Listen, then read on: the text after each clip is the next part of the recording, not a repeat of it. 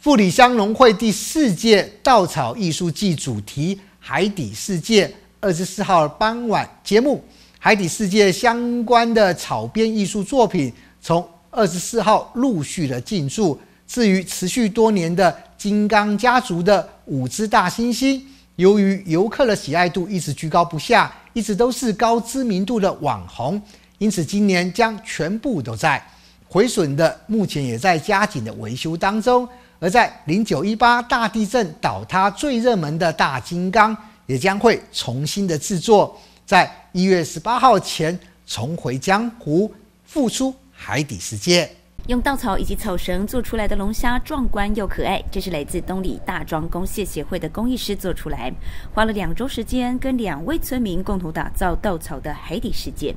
他照着图片做，他最主要骨架要先做出来，骨架比较困难，大概从开始到完成大概。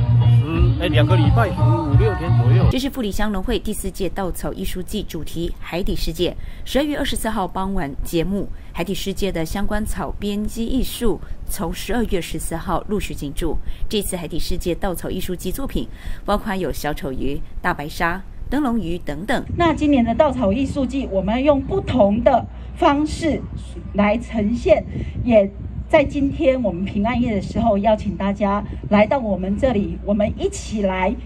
让我们的所住的地方更好。至于持续多年的金刚家族五只大猩猩，由于游客喜爱度一直居高不下，一直都是高知名度的网红，因此今年将全部都在毁损的，目前正在加紧的维修当中。在零九一八大地震倒塌的最热门大金刚将重新制作。在一月十八号前重回江湖，复出海底世界。那我们为什么要用稻草艺术季呢？我们富里农会致力推展我们的循环经济，就是我们稻草的资源循环跟我们的竹子的资源循环。那这竹子跟稻草的资源循环，虽然回归稻田或是其他做其他的用途，但是我们也可以结合我们农业的六级产业，让它更有创意，更有一个。